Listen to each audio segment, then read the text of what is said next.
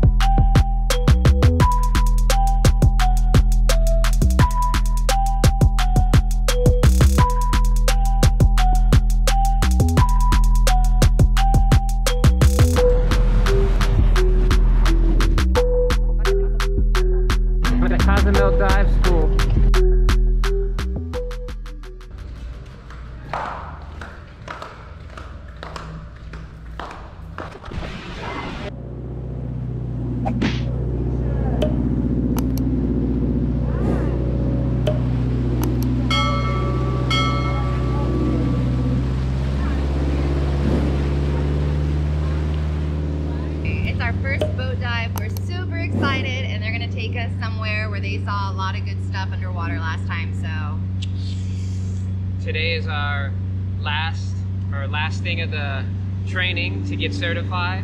Yeah! So we're going out here and we're gonna see a bunch of cool stuff. Go 60 feet. This is just an open water dive.